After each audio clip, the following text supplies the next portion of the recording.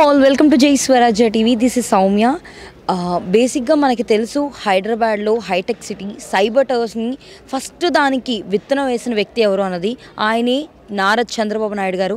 ఇప్పుడు ఆయన జైల్లో ఉన్నా సరే సైబర్ టవర్స్ని మొదలుపెట్టి అక్కడ స్థాపం మొదలుపెట్టినప్పటి నుంచి ఇప్పటి వరకు పాతిక సంవత్సరాలు అంటే ఒక సిల్వర్ జూబ్లీ కంప్లీట్ అయింది. సో అది కంప్లీట్ అయినందుకు గాను ఐటీ సెక్టర్ అంతా కూడా అక్కడ వర్క్ చేసే వాళ్ళందరూ కూడా కృతజ్ఞతగా రేపు సాయంత్రం జరిగే ప్రోగ్రామ్ కోసం రెడీగా ఉన్నారు. ఒకసారి వాళ్ళతో మాట్లాడి ఇక్కడ విశేషాలు ఏంటో తెలుసుకుందాం. వచ్చేయండి. Hello sir. హలో. మీ పేరు? నా పేరు మురళీకృష్ణ. ఏం చేస్తుంటారు? నేను ఒక కంపెనీలో చీఫ్ ఎగ్జిక్యూటివ్ కింద పనిచేస్తున్నాను. ఇప్పుడు ఇక్కడ సైబర్ టవర్స్ హైదరాబాద్లో స్టార్ట్ చేసినందుకు గాను ట్వంటీ ఫైవ్ ఇయర్స్ అయిందని చెప్పేసి రేపు ప్రోగ్రామ్ జరగబోతుంది సో ఆ కార్యక్రమాలు ఎలా జరుగుతున్నాయి అంటారు? రేపు పొద్దున్న ప్లాన్స్ ఏంటి? ఆ ప్లాన్స్ అంటే ఆఫ్ కోర్స్ నేను ఆర్గనైజింగ్ కమిటీలో అయితే లేను బట్ నేను ఇక్కడ వచ్చి జరుగుతుంది చూస్తున్న దాన్ని బట్టి మిగతా వాళ్ళతో ఇంటరాక్షన్ బట్టి చూస్తే దీనికి irrespective of cadre and community and you know disciplines ప్రతి ఒక్కరు కూడా ఈ చంద్రబాబు గారు ఇక్కడ హైటెక్ సిటీలో ఇక్కడ చేసినటువంటి అభివృద్ధికి వారు వేసినటువంటి పునాదికి దానివల్ల ప్రతిఫలంగా ఎంతమంది అయితే కుటుంబాలు బాగుపడ్డాయి ఎంతమంది పిల్లలు బాగా చదువుకుని వృద్ధిలోకి వచ్చారో వాళ్ళే కాకుండా దీనికి అసోసియేటెడ్గా అన్ని రంగాల్లో కూడా దీనివల్ల దీనివల్ల ఉపాధి కల్ప కల్పించడం జరిగింది.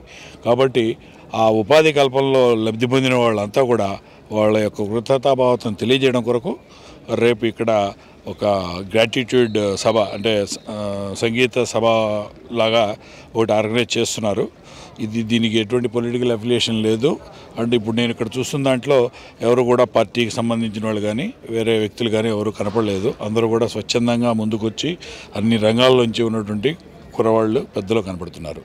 ఇప్పుడు మీరు చూసుకుంటే చంద్రబాబు నాయుడు గారు జైల్లో ఉన్నారు. ఇంచుమించు నలభై రోజుల పైనుంచి ఆయన జైల్లో ఉన్నారు. సో ఆయన ఉండాల్సిన ప్రోగ్రామ్ అది అసలు. సో మీ ఫీలింగ్ ఏంటి ఆయన లేకపోవడం ఇక్కడ? ఇది చాలా బాధాకరమైనటువంటి విషయం. అఫ్ కోర్స్ ఇది ఒక అంటే ఇరవై ఐదు ఇరవై ఐదు సంవత్సరాలు నిండటం అదే టైంలో ఆయన ఇక్కడ లేకపోవటం లేకుంటే ఆయన ఉండాల్సినటువంటి సభలో ఆయన ఆబ్సెన్స్లో జరగడం అనేది చాలా బాధాకరమైనటువంటి విషయం.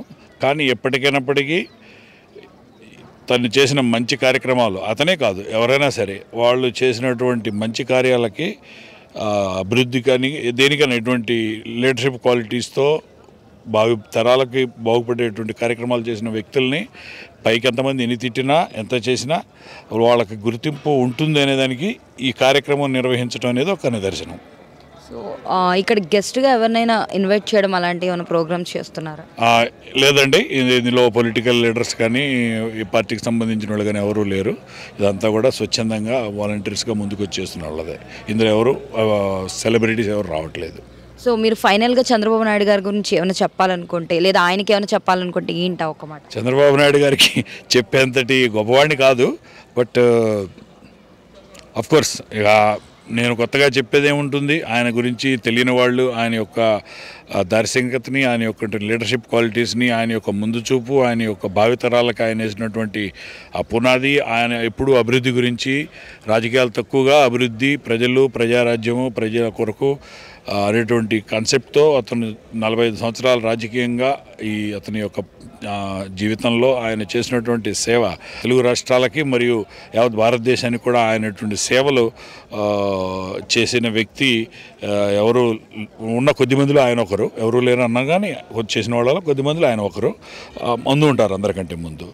సో ఆయన భావితరాలకి ఒక మార్గదర్శి. ఆయన దగ్గర ఉన్నటువంటి క్వాలిటీస్ పుణికిపుచ్చుకొని మనలోని యువత కొంతన ముందుకెళ్తే అది చాలా సంతోషం. Hello sir. Hello hi. మీ పేరు? నా పేరు కిషోర్ కొర్రపాటి ఏం చేస్తుంటారు? నేను సాఫ్ట్వేర్ ఇంజనీర్. ఓకే. రేపొద్దున సైబర్ టవర్స్ అన్నది స్థాపించి ఇరవై ఐదు ఏళ్ళు ఇరవై ఐదు సంవత్సరాలు అవుతుంది. సో దానికి మీరు ప్రోగ్రామ్ పెడుతున్నారు గ్రాటిట్యూడ్గా. సో ఆయన ఇప్పుడు ఇక్కడ లేరు. చంద్రబాబు నాయుడు గారు జైల్లో ఉన్నారు. దానికి మీ రియాక్షన్ ఏంటి?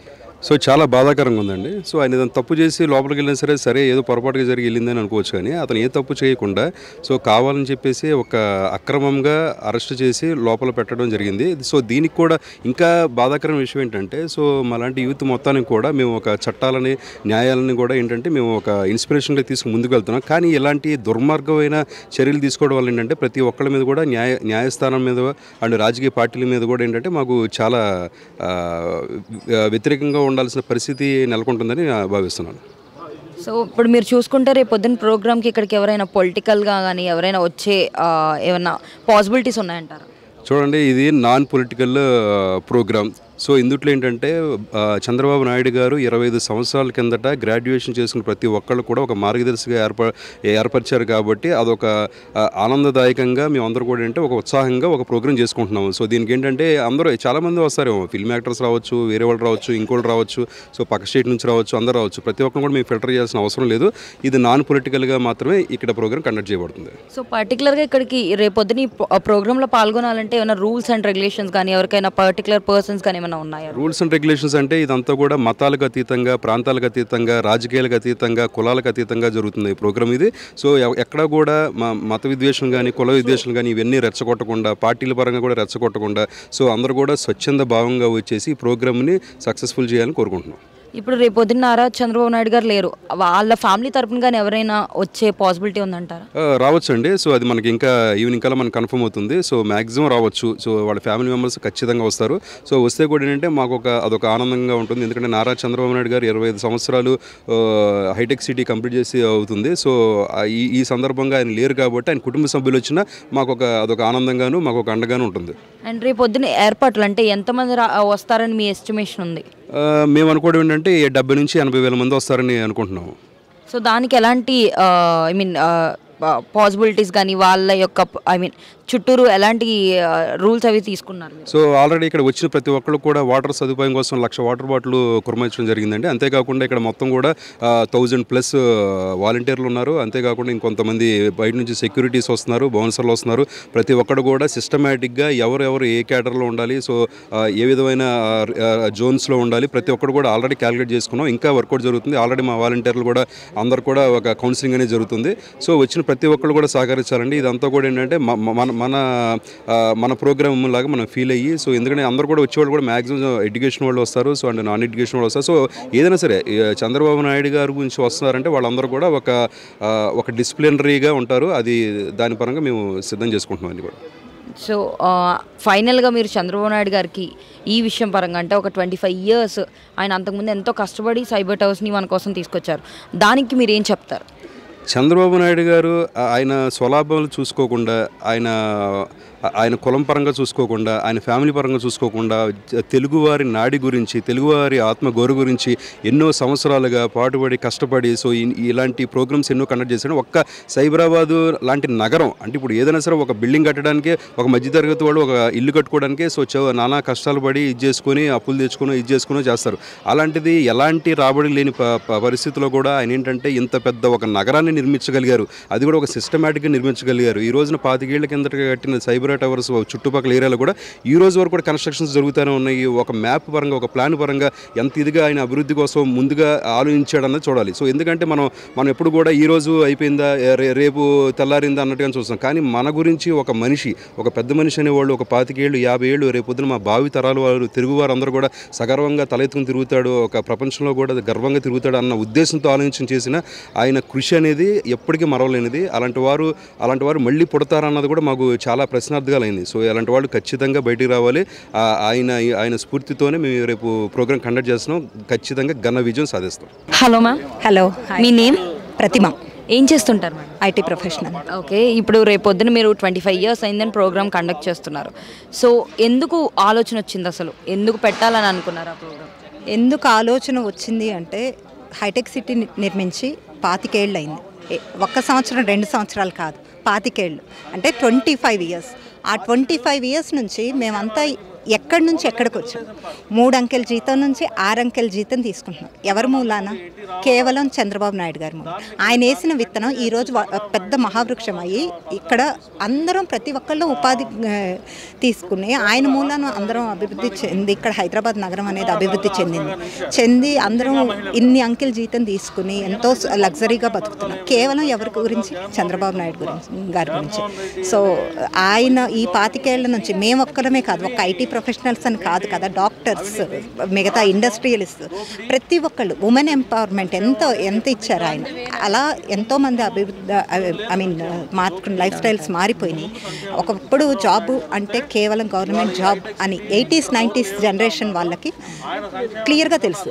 ఓన్లీ జాబ్ అంటే గవర్నమెంట్ జాబ్ మాత్రమే అనుకునే ప్రతి ఒక్కరు ఐటీ అనే ఒక విత్తనం వేసి ఐటీ అనే దాన్ని హైదరాబాద్కు తీసుకొచ్చి పునాది వేసింది ఆయన.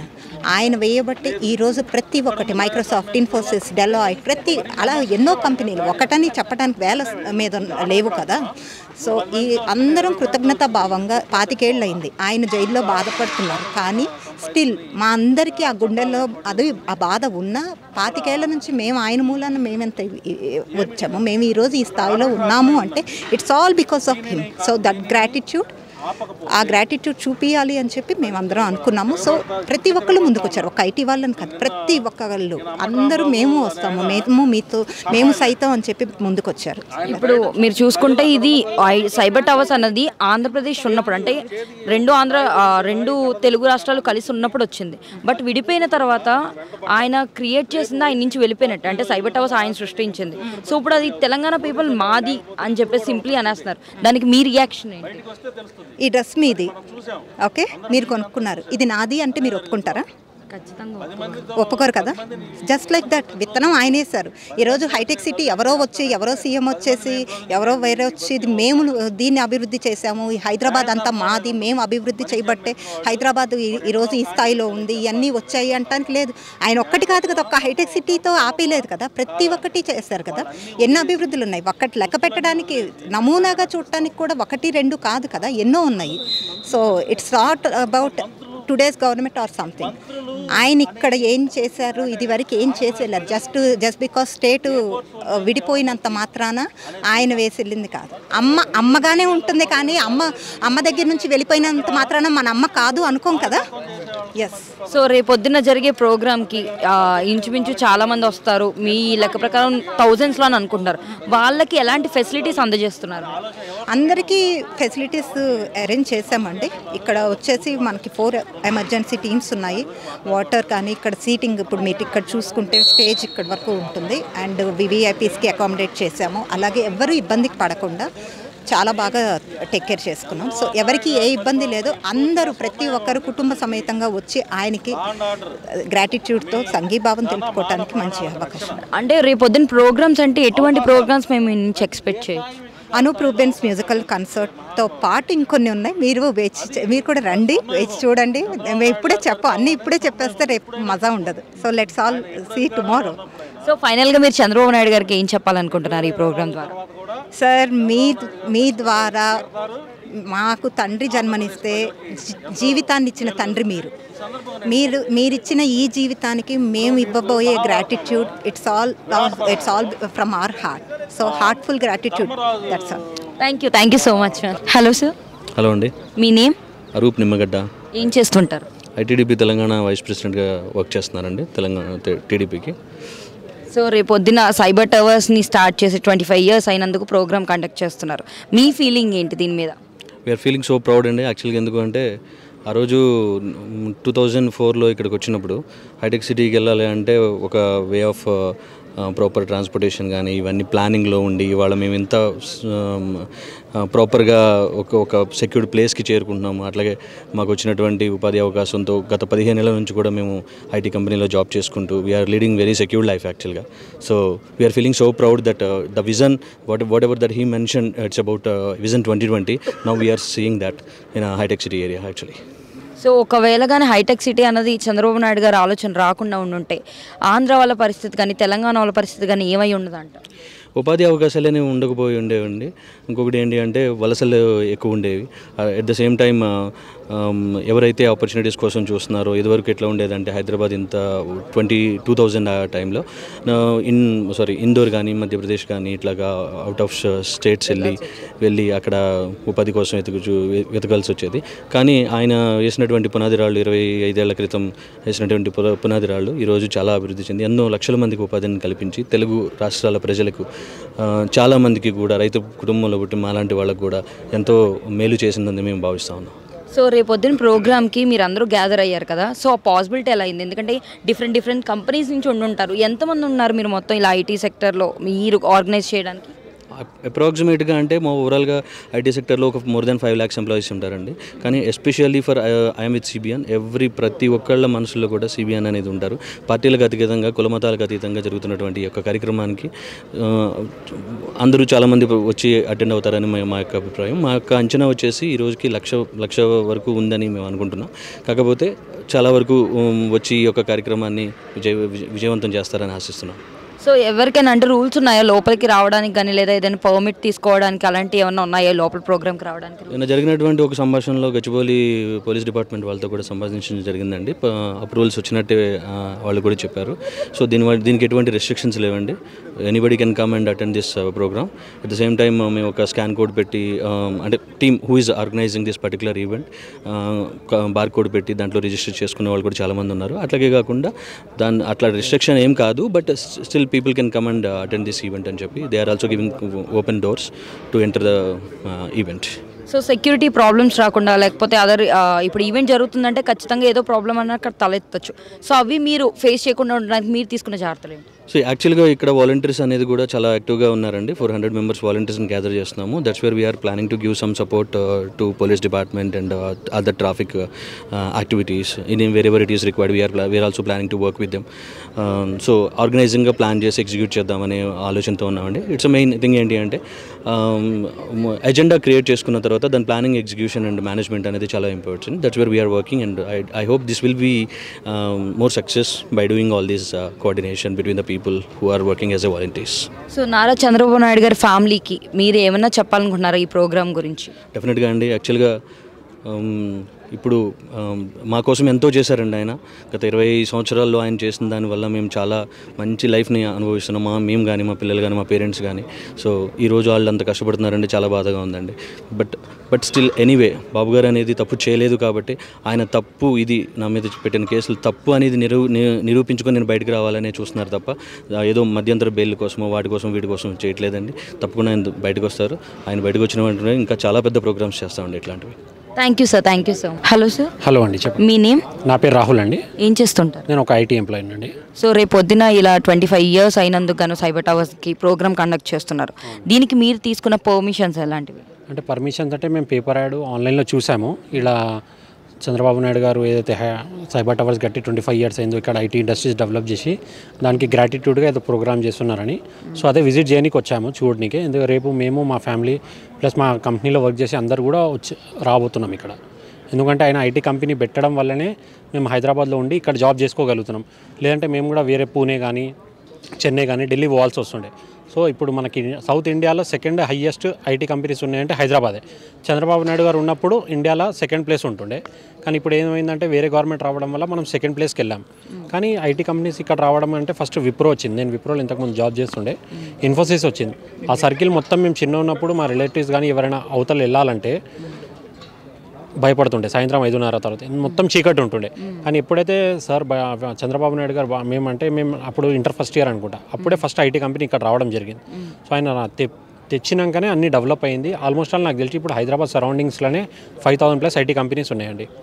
సో దాంట్లో మేము ఆల్రెడీ వర్క్ చేస్తున్నాం కాబట్టి ఆయన గ్రాటిట్యూడ్ కాబట్టి ఇది ఒక ఆర్గనైజేషన్ ప్రోగ్రామ్ తీసుకుందని మేము ఆన్లైన్లో చూసాం ఫేస్బుక్లో చూసి ఇక్కడ రావడం జరిగింది. సో రేపు కంపల్సరీ మేము కూడా దీంట్లో మా పార్టిసిపేషన్ మోటివేషన్ ఇస్తాం. సో సైబర్ టవర్స్ వచ్చిందంటే పునాది పడింది ఆయన వల్లే.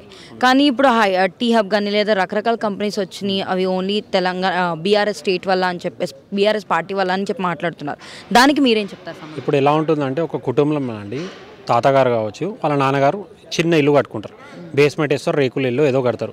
దాని తర్వాత ఆయన తర్వాత వాళ్ళ కొడుకు మా నాన్నగారు అనుకోండి ఆయన ఏం చేస్తారు? స్లాబ్ వేస్తారు. ఆయన స్థాయికి తగ్గట్టుగా. అంటే వాళ్ళు ఎంత సంపాదిస్తారో అలా ఒక ఫ్లోర్ కడతారు. దాని తర్వాత నేను ఇంకో ఫ్లోర్ కడతాను. దాని తర్వాత ఇంకో ఫ్లోర్ వేరే వాళ్ళు కడతారు. కానీ మా తాత వాళ్ళు అప్పుడు పునాది వేయకపోతే నేను మూడు ఫ్లోర్లు కట్టే వాళ్ళు కాదు. సో జనాలకు కూడా అన్నీ తెలిసింది ఇప్పుడు ఎందుకంటే అంత ఎడ్యుకేటెడ్ మీరు ఎక్కడైనా చూడండి ఎవ్రీ ఇంట్లో ఒక ఐటీ ఎంప్లాయీ లేదంటే ఎడ్యుకేటెడ్ ఏదైనా బీకామ్ కానీ బీఎస్సీ చదివిన వాళ్ళు ఏదో ఒక ఎంఎన్సీలో జాబ్ చేస్తున్నారు. ఒకప్పుడు అలా ఉండకపోతుండే. ఒకప్పుడు ఒక ఇంట్లో ఒక నాన్ననో పెద్ద నాన్ననో పని చేస్తే ఎనిమిది మంది తినేవాళ్ళు ఉంటుండే. పని చేసే వాళ్ళు కూడా ఏం చేస్తుండే? ఏదో చిన్న పని ఏదో షాప్లో పనో లేకుంటే కూలి పనో లేకుంటే ఆటో నడిపించుకోవడం అలా ఉంటుండే. ఇప్పుడు అలా కాకుండా ప్రతి ఒక్కళ్ళలో తెలివి వచ్చింది. ఏదంటే ఎంఎన్సీలో పని చేస్తేనే పిల్లని ఇస్తారు ఇవ్వాలి రేపు. పిల్లని ఇచ్చే ముందు అడుగుతారు ఏ కంపెనీలో జాబ్ చేస్తుంటే ఎన్ని లక్షలు వస్తున్నాయి? అబ్రాడ్ పోయిండు అమెరికా పోతాడా లేదా అని అడుగుతారు పిల్లని ఇచ్చేటప్పుడు కూడా. సో ఇప్పుడు ఒక సాఫ్ట్వేర్ కంపెనీస్ కానీ private MNC companies job value ఏందో ప్రతి ఒక్కరు తెలిసిపోయింది. సో ఇవన్నీ బేస్మెంట్ చంద్రబాబు నాయుడు గారు వేసారు ఆటోమేటిక్ దాని తర్వాత డెవలప్ అయింది. అది కామన్ అదైతే.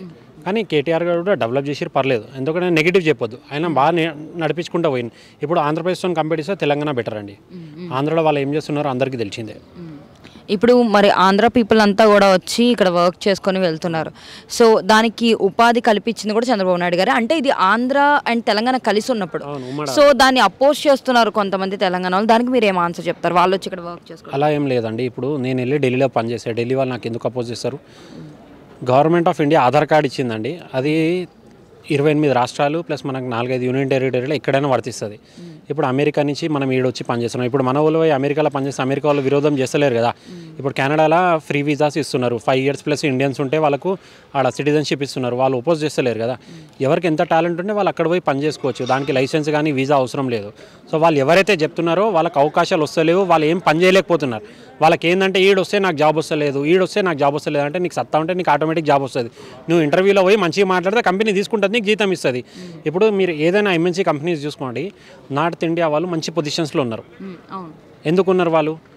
వాళ్ళకి ఇంటర్వ్యూ ఇస్తున్నారు వాళ్ళ టాలెంట్ చూపిస్తున్నారు వాళ్ళ కమ్యూనికేషన్ స్ట్రాంగ్ ఉంది దేని ఆల్ ద లాంగ్వేజెస్ వాళ్ళకి ఆ కాన్సెప్ట్ కానీ ఆ టెక్నాలజీ ఉందో దానిపైన బేస్ ఉంది.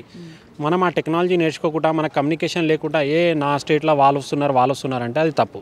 ఎందుకంటే ఇండియా మొత్తంలో ఎక్కడైనా పోవచ్చు. ఇండియా ఏంది? ప్రపంచంలో మనం ఏడైనా పోవచ్చు. కొన్ని కంట్రీస్లో వీసా ఉంది కొన్ని కంట్రీస్లో వీసా లేదు. ఇప్పుడు మేడ్ ఇన్ ఇండియా అని చెప్తున్నాం. Made in India product Pakistan పోదా? ఆఫ్ఘనిస్తాన్ పోతలేదా మనం ఆ చైనా నుంచి మొబైల్స్ తెప్పించుకుంటలేమా? కామన్ అది. సో ఎవరైతే ఇవన్నీ చెప్తున్నారో వాళ్ళు ఏం చేయలేకపోతున్నారు కాబట్టి వాళ్ళు అలా విమర్శిస్తున్నారండి. సో నారా చంద్రబాబు నాయుడు గారు కానీ జైల్లో లేకుండా ఇప్పుడు కానీ ఆయన బయట ఉండుంటే ఈ ప్రోగ్రామ్కి ఆయన ఇన్వైట్ చేసేవారా? కంపల్సరీ ఇన్వైట్ చేస్తుండే. ఇప్పుడు ఆయన ఇక్కడ ఉంటే తెలంగాణలో రాజకీయం కూడా మీకు తెలిసి ఎలక్షన్స్ ఉన్నాయి. చాలా షేక్ అయిపోతుండే. ఆయన లోపల ఉండడం వల్లనే చాలా కం చాలా బీఆర్ఎస్ కావచ్చు కాంగ్రెస్ కావచ్చు బీజేపీ ఎమ్మెల్యేలు అందరూ చంద్రబాబు నాయుడు రా రాజకీయ భిక్ష ఇచ్చిండు ఆయన చెప్తే నాకు ఫస్ట్ టికెట్ వచ్చింది ఆయన చెప్తే నేను ఎమ్మెల్యే అయినా ఆయన వల్లనే ఎమ్మెల్యే అయినా అంటారు అది ఎప్పుడు? ఆయన అరెస్ట్ అయిన థర్టీ డేస్ తర్వాత. ముందు ఎవడు స్పందించలేదు ఎవడు ఏం చెప్పలేదు. ఎందుకంటే వాళ్ళు అనుకున్నారు దీంతో మైలేజ్ రాదు మైలేజ్ రాదు అనుకున్నారు. వాళ్ళకి ఇప్పుడు అర్థమైంది ప్రతి ఒక్కరు అంటే చిన్న పుట్టిన బాబు కూడా సిబిఎన్ అంటున్నారు. ఆయనకు తెలియదు సిబిఎన్ అంటే.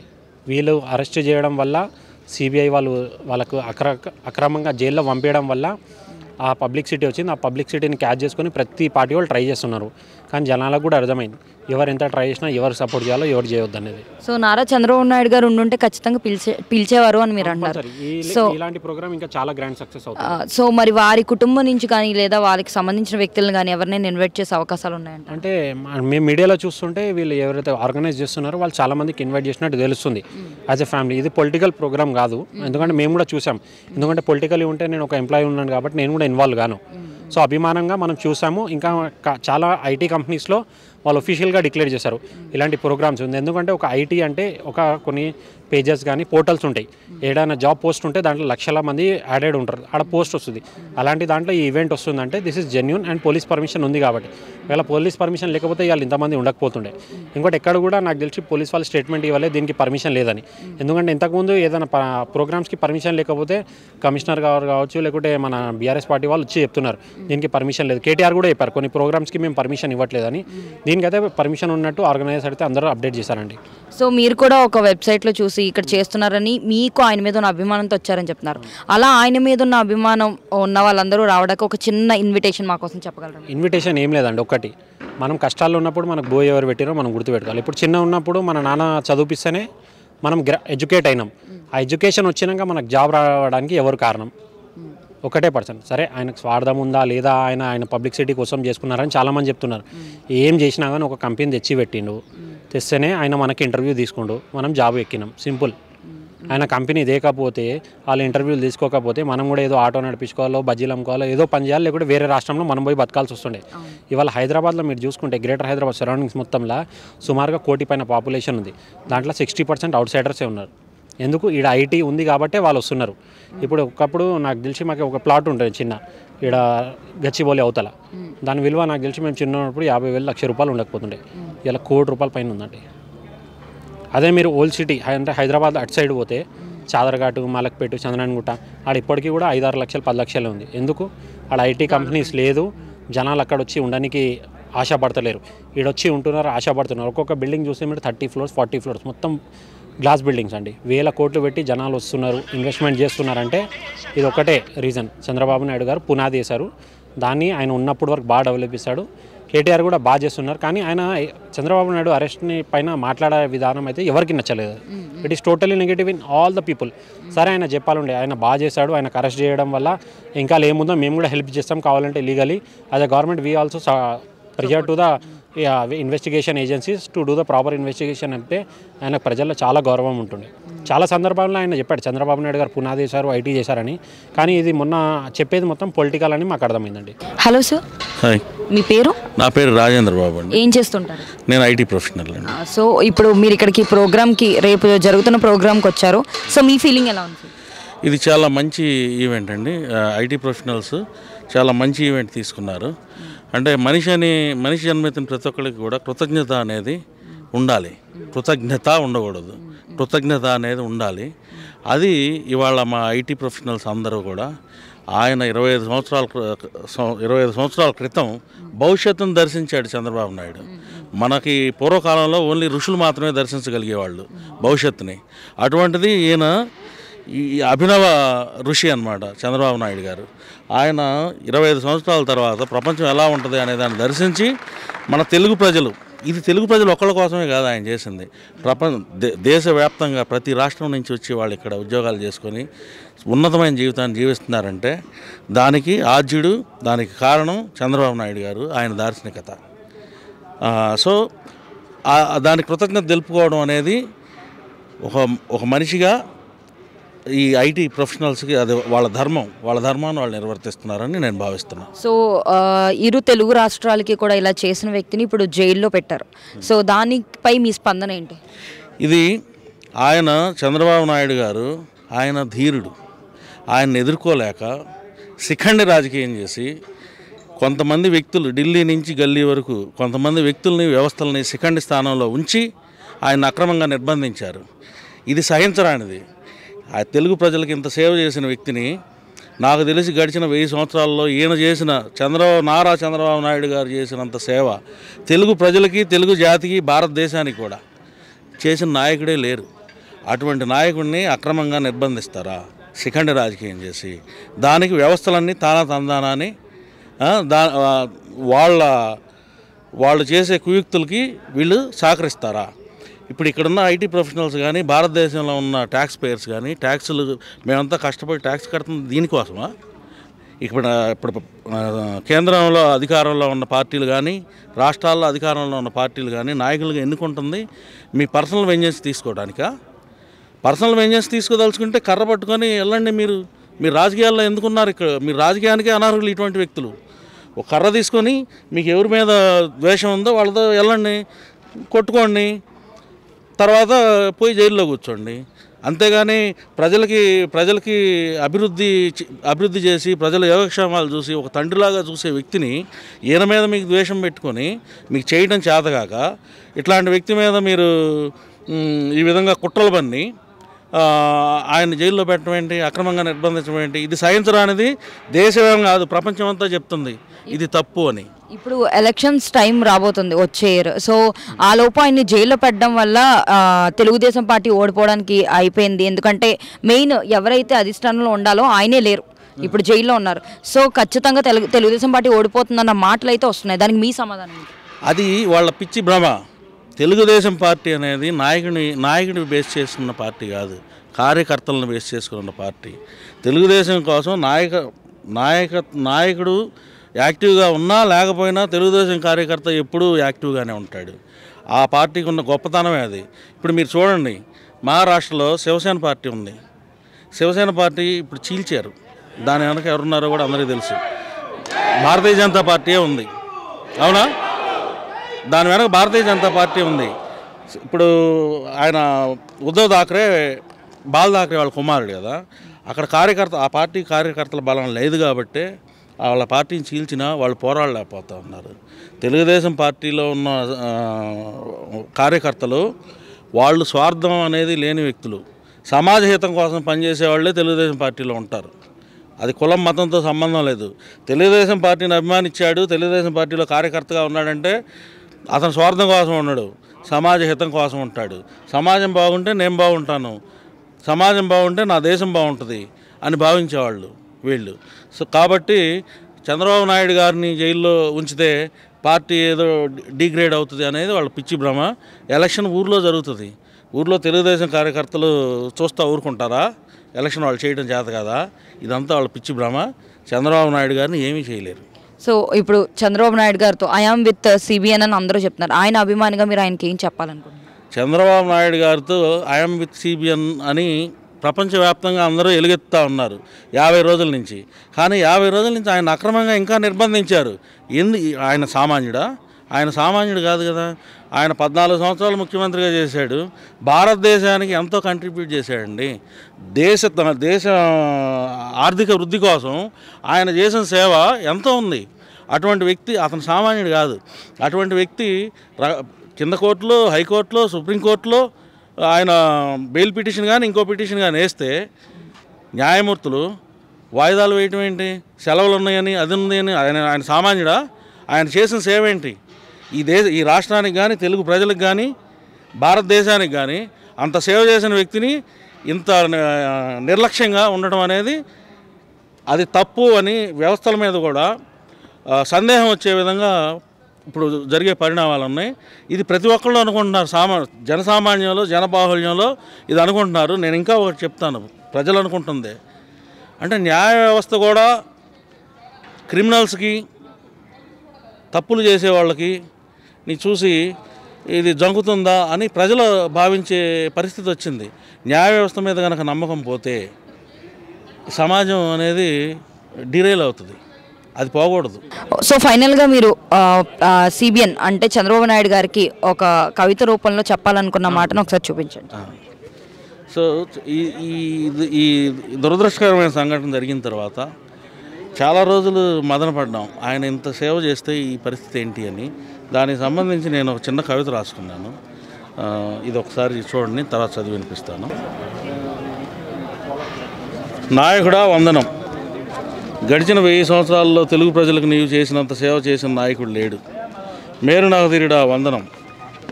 తెలుగు జాతికి నువ్వు చేసిన సేవకు వందనం. నీవు చేసిన అభివృద్ధికి వందనం. నీవు చేసిన సంక్షేమానికి వందనం. బడుగులను అందలం ఎక్కించిన నీకు వందనం. సత్యపరాక్రముడైన శ్రీరాముడు సీతమ్మని అపహరిస్తే దుఃఖించాడు. ఎన్నడూ తొనకని నీవు నీ సహధర్మచారిణిపై నిందలు వేస్తే దుఃఖించావు. మహిళలంటే నీ హృదయంలో ఉన్న గౌరవానికి వందనం. పోరాట యోధుడా నీకు వందనం. జనహృదయ నేత నీకు వందనం. తెలుగు తల్లి ముద్దు బిడ్డ నీకు వందనం. నాయకుడా వందనం.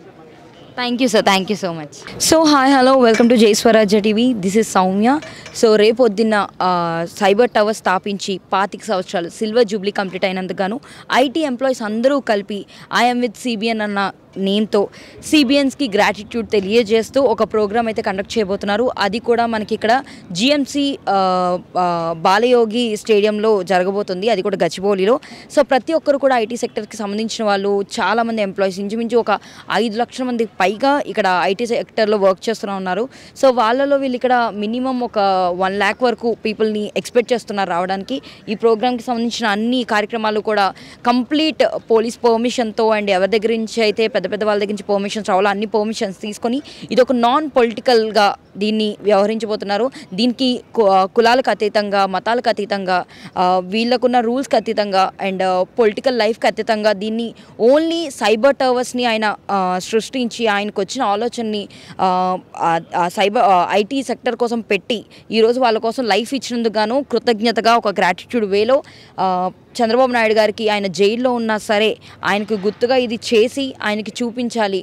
సో ఆయన మాకు ఇదంతా చేసినందుకు కృతజ్ఞతలు తెలియజేస్తూ కూడా ఈ ప్రోగ్రామ్ అనేది కండక్ట్ చేస్తున్నారు. సో ఇప్పటి నుంచి ఇంచుమించు సాయంత్రం ఇంకో కొంతసేపట్లో మొత్తం ప్రోగ్రామ్ కావాల్సిన అన్ని ఫెసిలిటీస్ అవి కూడా స్టార్ట్ అవబోతున్నాయి వాటర్ ఫెసిలిటీస్ నుంచి అన్నీ కూడా ఇక్కడ ఇవ్వబోతున్నారు. ఇంచుమించు ఫోర్ హండ్రెడ్ పైన సెక్యూరిటీ కూడా ఇక్కడ ప్రొవైడ్ చేయబోతున్నారు వాలంటీర్స్ కింద తెలుస్తుంది.